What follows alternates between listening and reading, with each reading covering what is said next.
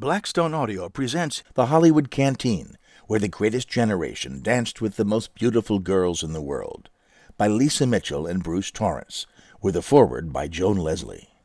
Dedication to Terry Ritchie, in gratitude for his loving encouragement and solidarity, and to Bruce Torrence, who made this project so much fun. L.M.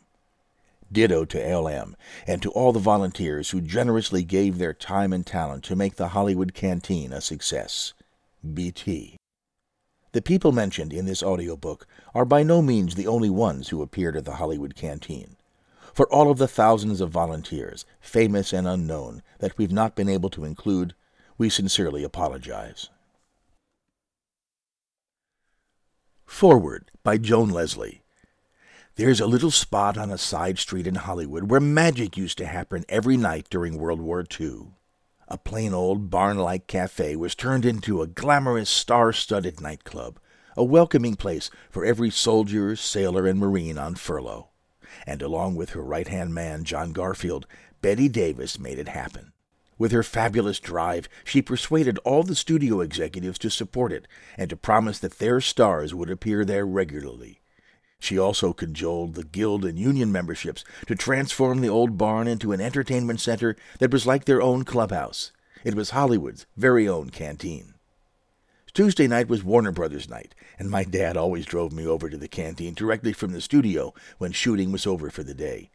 He dropped me off at the stage door entrance on Cole Place, where I would be checked in by the officer of the day. Once it was Hoagy Carmichael, who gave me a bear hug that I'll never forget. I would be assigned to handing out bologna and cheese sandwiches, coffee, and cake that the servicemen wolfed down.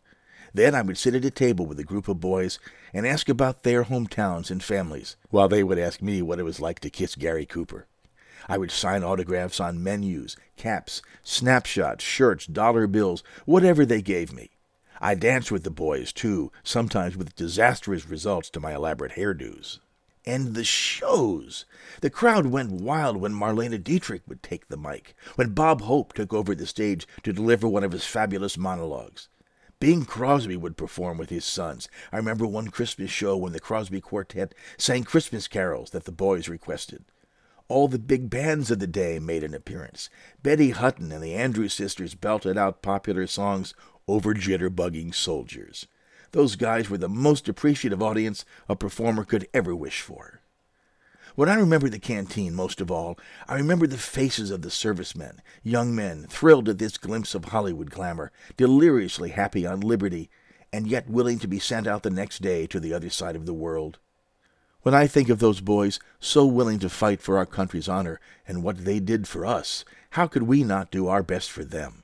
We may have stayed to close up for the night, but every volunteer's heart in the Hollywood canteen went out the door with those men.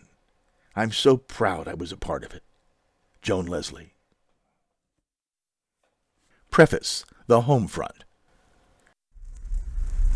My fellow Americans, although the treacherous attack on Pearl Harbor was the immediate cause of our entry into the war, that event found the American people spiritually prepared for war on a worldwide scale. Not all of us can have the privilege of fighting our enemies in distant parts of the world, but there is one front and one battle where everyone in the United States, every man, woman, and child, is in action and will be privileged to remain in action throughout this war. That front is right here at home, in our daily lives, in our daily tasks. President Franklin Delano Roosevelt, Fireside Chat, April 28, 1942. World War II opened a new chapter in the lives of depression weary Americans. As husbands and fathers, sons and brothers shipped out to fight in Europe and the Pacific, citizens who remained at home were galvanized in support of a common goal to actively maintain the home front. Millions of women marched into factories, offices, and military bases to work in the paying jobs formerly held by men in peacetime. One of the greatest contributors to the war effort was Hollywood's entertainment industry. No other single group gave so much of its time, talent, energy, and enthusiasm.